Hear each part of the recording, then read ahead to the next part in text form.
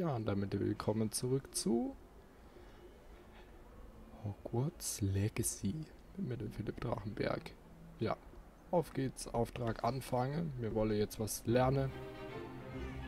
Stupor! Stupor!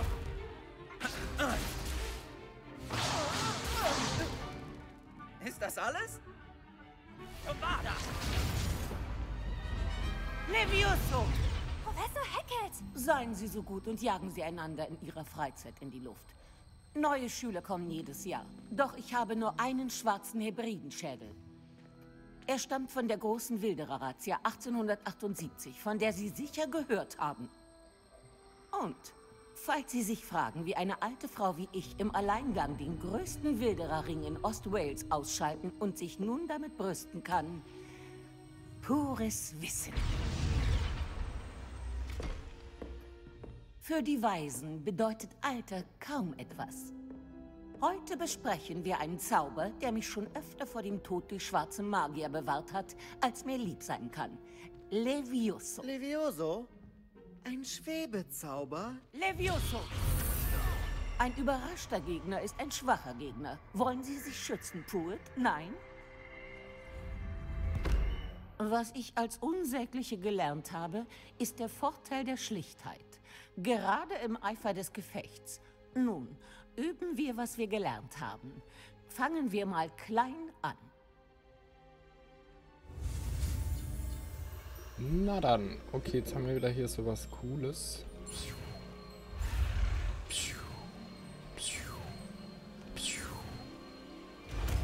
Livioso. Wahrscheinlich so eine Vorgangsform von Guardian Levioso! Jawohl.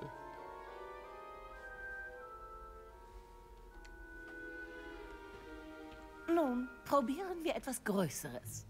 Na dann. Okay.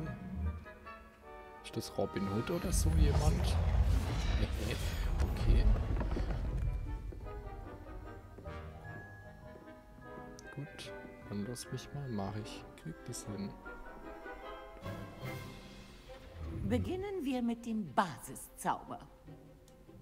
Okay. Sehen Sie, wie die Puppe den Zauber abwehrt? Wirken Sie diesmal zuerst Levioso und dann den Basiszauber. Denken Sie daran. Gut. Nun zum Basiszauber. Weg. Bam, bam, bam. Bam. Levioso. Bam. Levioso! Okay, reicht es? Cool. Sehr gut. Aber am besten kann man in Duellen üben. Sie beide fangen an. Duellanten in Position. Zeit für deine Hogwarts-Begrüßung. Also, ich will ein faires Duell. Nur mit Levioso, Basiszauber und Protego. Beginnen Sie. Let's fight. Das wird ein Kinderspiel. Du bist gut. Levioso! Hast du gemerkt? Danke. Gute Technik. Sebastian Cello. Das war Glück. Ich kann damit nichts zu tun. Bam, bam, bam, bam, bam. Yeah. Sagen wir einfach, ich lerne schnell. Nicht schlecht für den Anfang. Du teilst aus, wie du einsteckst.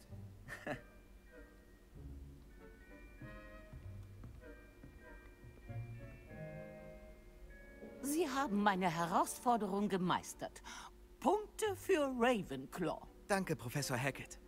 Ich freue mich über diese Übungsmöglichkeit. Wenn Ihre heutige Leistung auf mehr schließen lässt, können wir Großes von Ihnen erwarten. Ich verlange von meinen Schülerinnen und Schülern Spitzenleistungen. Sie sind dazu fähig und müssen sie auch erbringen.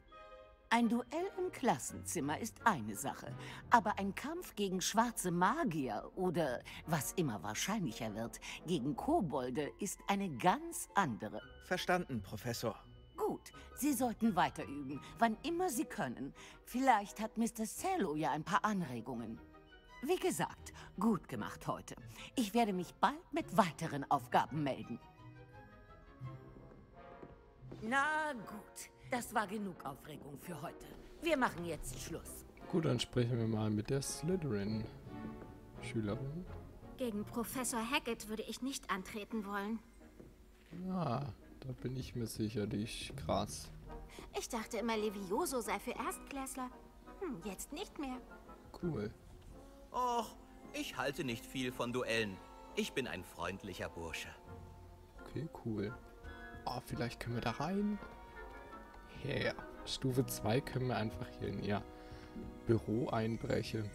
Du hast dich mit Sebastian duelliert. Starker Gegner. Respekt. Dankeschön. Ja. Der Synchronsprecher Revelio. ist auf jeden Fall cool. Da höre ich nämlich der Schatte der Horcrux an. Ist auf jeden Fall ein cooler Typ. So. Wenn du die richtigen Zaubersprüche kennst, werden die schwarzen Magier dich fürchten, nicht umgekehrt. Leon Stiel heißt der. Übrigens. Einfach Gute nur so, Arbeit. weil ich's weiß. So, na dann. Was gibt's denn so? Das hat Spaß gemacht. Ein Duell für die Geschichtsbücher. Alle werden darüber sprechen. Auf jeden Fall eine gute Übung. Übung? Das war wie ein Duell gegen einen Experten. Ich bin übrigens Sebastian Cello. Dafür, dass du neu bist, bist du aber geschickt mit dem Zauberstab. Aber vielleicht war das ja nicht dein erstes Duell. Ja. Wir haben doch schon öfters gekämpft. Nein, war es nicht. Sei froh, dass ich mich zurückgehalten habe. Ich verstehe. Dann schuldest du mir jetzt noch ein richtiges Duell. Weißt du, du wärst perfekt für eine bestimmte, nicht genehmigte Duellorganisation geeignet. Hm, Das klingt bestimmt witzig. Exklusiv und ungenehmigt? Ich bin dabei. Ausgezeichnet. Ich hatte also recht. Wenn du deine Zeit in Hogwarts voll ausnutzen willst, musst du ab und an auch mal die Regeln brechen. Ob du einem geheimen Duellclub beitrittst oder in die verbotene Abteilung der Bibliothek schleichst, man muss nur schlau genug sein, sich nicht erwischen zu lassen. Danke, Sebastian. Ich werde es mir merken. Gut, war schön mit dir zu sprechen. Wir sehen uns sicher bald. Vielleicht an einem nicht genehmigten Ort.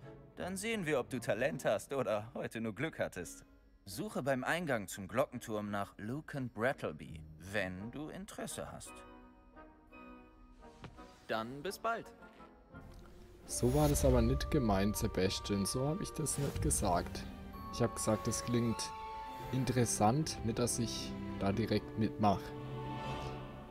Ja, gut, Philipp, dass du meine Philipp Dracheberg Worte in deinem fiktive Charakter hier falsch spiegelt. Finde ich nicht okay. So, ähm. Nein, nix da mehr. Laufe. Aber in die falsche Richtung. Egal, wir können auch hier hoch, sagt die Karte. Ah, hier müssten wir also hoch. So, freischalten. Dumme Verteidigung gegen die Künste. Der wurde einfach von einer Axt gejagt. Ja. Hogwarts ist ein kinderfreundlicher Ort. Wobei das Spiel ist ja eh ab 16, habe ich gelesen. Durch das, das ist auf jeden Fall, also nur Hogwarts allein, aber durch die dunkle Künste vermittelt es auf jeden Fall düsterer Wert. Und deswegen ist das Spiel auch äh, nicht so kinderfreundlich, wie man eigentlich denkt. So muss ich hier hoch. Pep, pep. Ah. Was ist das für ein komisches Viech auf meiner. auf meinem Mikropop-Sockel oder wie das heißt? Auf meinem Popschutz. Ah, Professor Fix, Unterrichtsräume, Flohflamm. Da wollte mir aber gar nicht hin. Wir wollten nämlich hier hoch. Jetzt verschwind von meinem Mikrofon, du blödes Muckeviech. Ah, jetzt das. Ah, hier. Er Na dann, let's go auf zum Zauberkunstunterricht. Super frei, kann ich das sehen? Nox. Mobiltum. Okay, fangen wir mal an. Lesen können wir das ja irgendwann anders, wenn ihr wollt. Oder er macht einfach kurz Pause und lasst ein Like und ein Abo da. Let's go.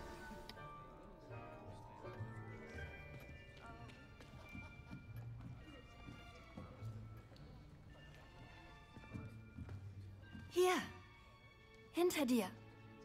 Hier ist noch ein Platz frei. Dankeschön. Hallo, ich bin Nati. Du bist also neu in Hogwarts. Kennst du denn Professor Ronan schon? Beginnen wir. Willkommen im fünften Jahr des Faches Zauberkunst. Dieses Jahr ist für Ihre Ausbildung in der Zauberkunst äußerst wichtig.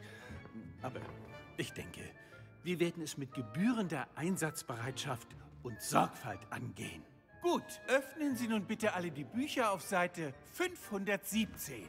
Aber bevor wir beginnen, kann mir hier jemand den Unterschied zwischen den Beschwörungen des Farbwechsels und Wachstumszauber nennen? Niemand? Niemand? Hm? Ah, ah, ah, ich fürchte, fürs Lernen ist es jetzt zu spät. Hm. Die Sommermonate müssen für Sie schwer gewesen sein. Wie es aussieht, haben Sie den Ferien aneinander Obliviate geübt. äh, äh, kennen Sie denn überhaupt noch den Standard-Aufrufe-Zauber? Hm? Hm, gut. Es scheint, wir brauchen dringend eine Auffrischung. Suchen Sie sich einen Partner und stellen Sie sich an beiden Seiten des Klassenraums auf. Nutzen wir jetzt die Bücher als eben jene stumpfe Gegenstände, für die Sie sie halten, und rufen Sie sich abwechselnd gegenseitig aus den Händen. Es wird nur je ein Buch pro Paarung benötigt, Miss Dale. Dankeschön. Stellen Sie sich auf.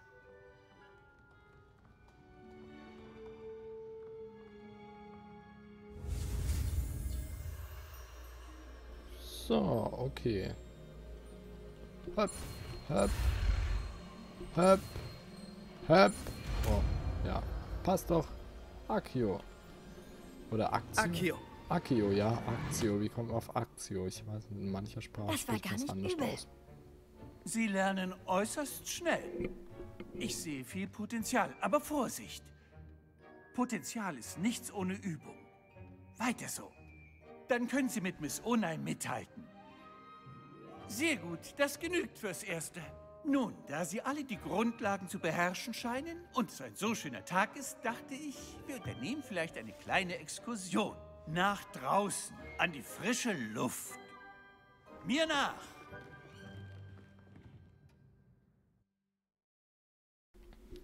Der ist mal sympathisch, der gute Professor.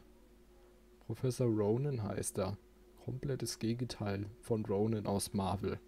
Ja, der war nämlich böse und mad drauf. Aber ja, ähm, hier wieder eine schöne kleine Zwischensequenz. Ich war immer der Meinung, dass Spaß und Können sich bedingen. Die Quidditch-Spieler unter Ihnen werden mir sicher zustimmen. also, was wäre besser als ein wenig Sport, um unser Können mit Aufrufezaubern zu testen? Stimmt's?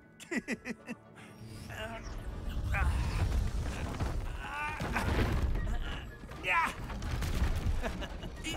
ja! Warum fängt er nicht unser Neuzugang an? Hm? Hm?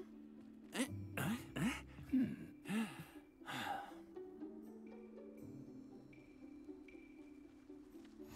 Kurzum, verzaubern Sie die Kugel mit Akio und lassen Sie sie im letzten Moment wieder frei. Nun Accio. es sich wie eine Partie. Wunderbar. Das passiert den Besten von uns. Was muss ich denn machen, damit er aufhört? Sehr gut. Keine Sorge. Auslachen lasse ich mich hier nicht. Genau so. Ah. Ja. Okay, habe ich es jetzt geschafft? Sehr gut. Punkte für Ravenclaw. Ja, aber wie Aber es viele? gibt wohl keinen Sport, der ohne freundschaftlichen Wettkampf auskommt. Miss Onai, möchten Sie unserem Neuzugang eine Herausforderung bieten? Kommen Sie. Ihre Farbe ist blau, genau wie vorhin. Miss Onai, Sie spielen rot, verstanden? Ja, Sir. Na und Nati, dann lass uns mal beginnen. Oder beginnst du? Dann wollen wir mal. Nati beginnt, okay.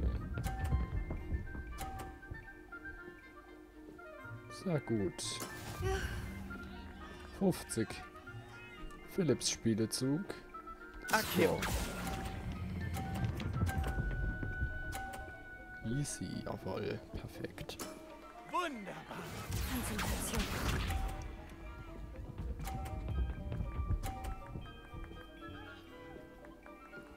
Ist okay, ist okay. So. Hopp. Stopp. Ja. Sehr beeindruckend.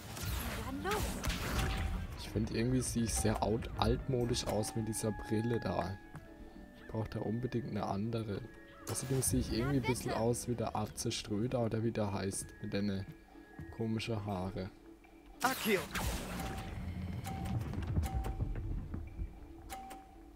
Ja. Dankeschön. Perfektes Ergebnis. Bemerkenswert. Ja. Sieger. Akio DL. Philipp. Na, dann wollen wir es doch ein wenig interessanter machen.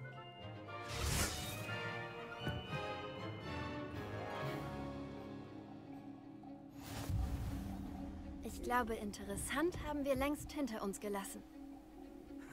In der Tat. Genug geplappert. Das erfordert Ihre ganze Konzentration. Diese Runde entscheidet alles. Sieh gut zu.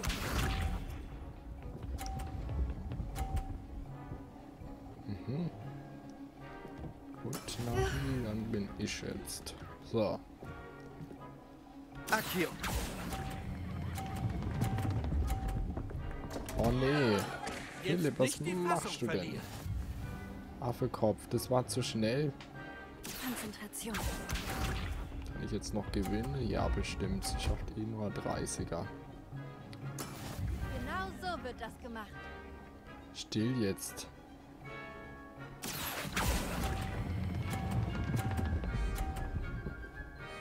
Nein! Meine Güte. Was ist denn jetzt los? Philipp, konzentrier dich. Mal. Ja, wenn nicht, gönne ich dir auch den Sieg. Aber Philipp, was ist denn los? Jetzt kann ich ja gar nicht mehr gewinnen. Ich könnte nur gewinnen, wenn ich zwei noch in Blau bekomme. Das kriege ich ja nicht mehr hin. Komm, wir machen einfach Nullpunkte, Das okay? passiert den Besten von uns. Das hast du schon gesagt, Mann. Jetzt bin ich enttäuscht. Natassi. Und ja. Sehr gut. Alle beide. Gute Arbeit. Ah, das war ja auch ein bisschen ein komisches Rätsel. So. Wenn ihr wollt, könnt ihr jetzt gerne ein Like und ein Abo da lassen und übermorgen wieder eine Folge zuschauen, denn morgen kommt ein anderes Video. Wir sind fertig. Vergessen Sie Ihre Sachen nicht. Gut gemacht. Du hast die Niederlage gut weggesteckt. Ich wollte es dir nicht zu leicht machen. Es dauerte Wochen, bis ich Akio beherrschte. Es hat Wochen gedauert, bis ich hier irgendwas richtig machen konnte. Es wird leichter, versprochen. Schön, dass du mich verstehst. Danke, dass du das sagst. Es ist sehr viel auf einmal. Das kann man sagen. Ich weiß noch, wie es mir bei meiner Ankunft ging. Ich bin kurz vor meinem vierten Jahr von Ouagadougou hierher gewechselt. Meine Mutter erhielt ein Angebot, hier Wahrsagen zu unterrichten. Und ehe ich mich versah, verließen wir Uganda und waren auf der anderen Seite der Welt, in einer ganz neuen Schule. Dann fragen wir dich doch mal ein bisschen aus. Ja, Ist Ouagadougou größer als Hogwarts? Die Ouagadougou-Schule für Zauberei ist die größte Zauberschule der Welt. Also ja, größer als Hogwarts. Doch sie wirkte nie einschüchternd oder überwältigend auf mich. Ich fühlte mich dort zu Hause. das ist ja nett. Ist Ouagadougou ein Schloss wie Hogwarts? Sie liegt im Ruvenzori-Gebirge. Es ist weniger ein Schloss als vielmehr ein wunderschönes Bauwerk direkt aus dem Berg gehauen. Ich erinnere mich noch, als ich sie das erste Mal sah. Der Nebel war so dicht, ich konnte kaum etwas erkennen. Und dann tauchte sie plötzlich vor mir auf. Diese gigantische Schule, die mitten in der Luft zu schweben schien. Cool. So. Und jetzt noch die letzte Frage. Ist Magie auf Wakadu gleich? Das klingt vielleicht seltsam, aber ist die Magie auf Wagadu genau wie hier? Hm, größtenteils ja. Aber hier musste ich lernen, wie man einen Zauberstab benutzt. Das tut kaum jemand in Wagadu.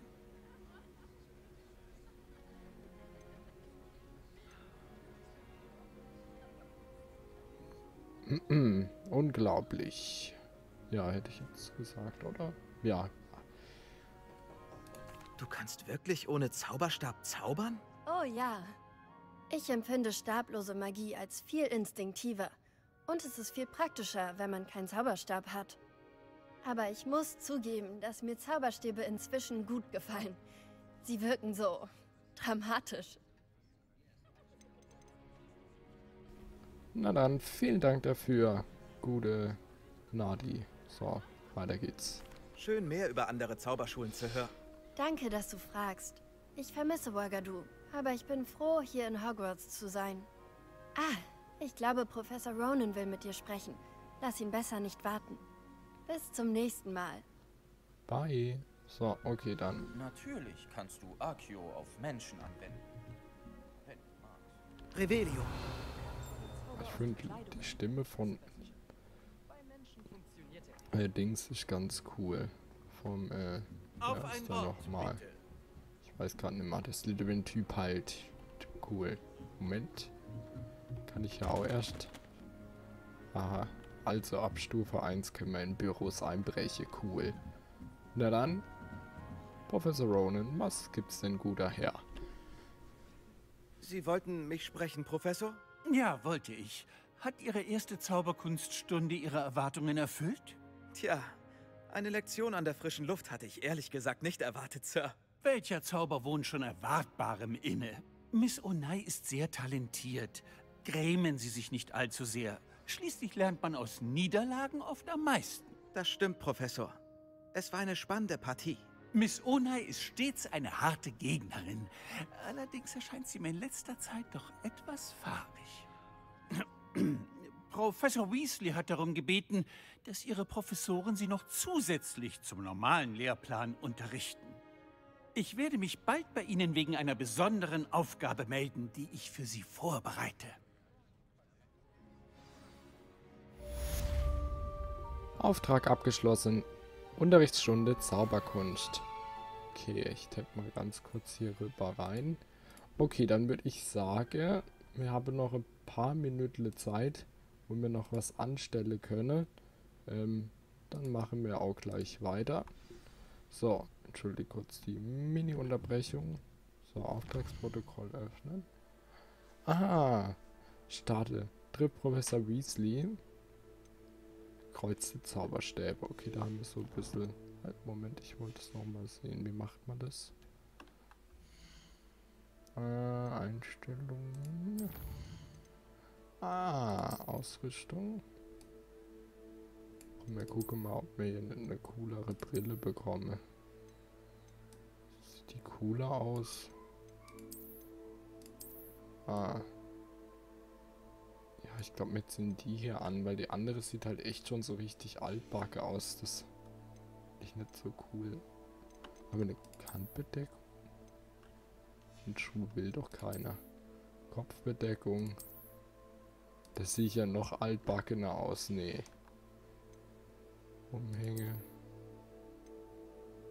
Haben wir ja eh schon. Haben wir ein Outfit, nur die Schuluniform. Der gute und rechtliche Sache haben wir eh nicht. Was sagt denn mein Inventar? Nix. Alles leer. Sammlungen. Ah, hier haben wir schon so neun kosmetische Sache freigeschaltet. Aber die können wir glaube ich noch nicht benutzen. Hm, und hier haben wir, was haben wir hier? Videoseite. Ah ja, stimmt, die eine Seite, wo wir schon bekommen haben. Das war die Büste da. So, Herausforderungen haben wir auch noch jede Menge zu tun. Karte.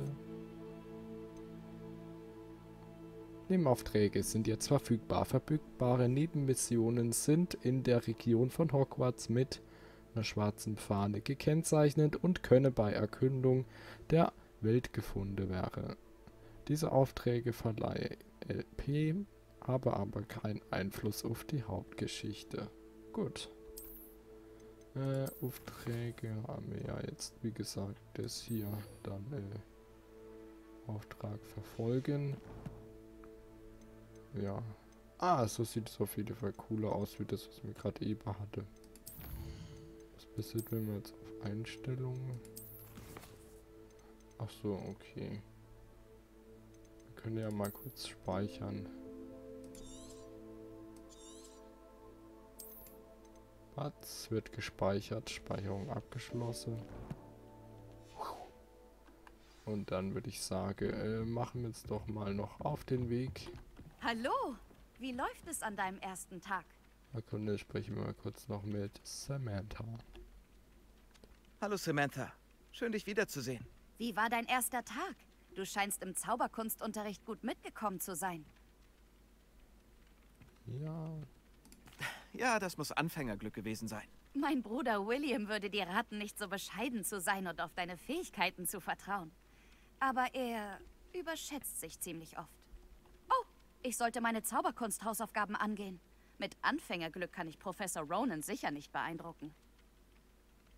Okay, dann schöner Tag dir noch. So. Genau wie euch dann gleich auch. Aber äh, jetzt dackeln wir erst einmal runter zum Verwandlungsraum. Und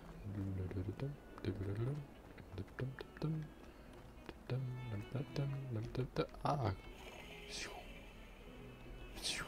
Okay, das reicht jetzt, Philipp. Ich bin jetzt mal gespannt, wenn wir nach Hogsmeade dürfen. Da freue ich mich am meisten gerade im Moment drauf. Oder in Winkelgasse würde ich gern jetzt gehen. Hogwarts ist natürlich sehr schön, aber ich hätte auch Bock jetzt auf Ding. Ah, halt, stopp Philipp, falsch. Wir müssen, glaube ich, hier durch. Ah, ja genau, wir wollen hier zurück in den Innenhof von vorhin. Klopulver ist nur für... Komm, wir streicheln die Katze noch. Ah, die haben dieselbe Animation, die Viecher. Na dann, Ducci Ducci. Ja, jetzt jetzt Grausfell wird mich an der Tom erinnern. An die Katze von meiner Oma. Tja gut, äh, dann würde ich sagen, schalte mir das noch frei. Ah ja, haben wir ja gerade. Können sich ja gar nicht vorstellen, wie... Schlossstufe 1. Okay. An der damit, dass ich Alohomora beherrschen muss. Tja, das wäre mir in der nächsten Folge dann sehen. Äh, den Auftrag nehmen wir natürlich in der nächsten Folge an. Äh, und die kommt übrigens morgen, nicht erst übermorgen. Also erst die Folge morgen. Wenn dann wieder eine Folge kommt, die kommt übermorgen. Dann würde ich sagen, vielen Dank fürs Ansehen und bis dahin lasst gerne ein Like und ein Abo da und ich muss sagen, echt, die Brille steht mir besser wie die andere. Dann, ciao.